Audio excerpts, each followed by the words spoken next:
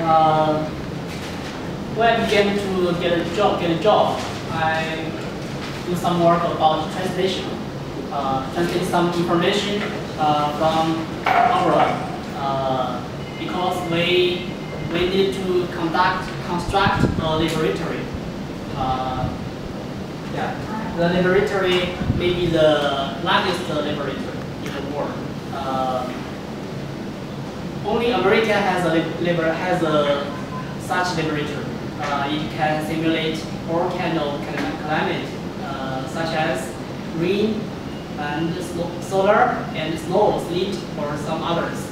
Uh, so my tutor uh, give me some issue uh, about translate the information for some paper.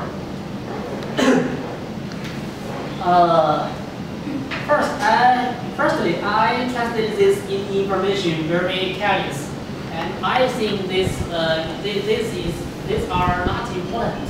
So I try to uh, I, I, I just I just uh, uh, translate translate this information very very careless and ask my tutor uh, check the Chinese the Chinese uh, information.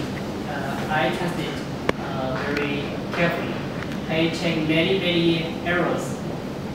Uh, then uh, I know this information used to used to apply some some project uh, some very important uh, project.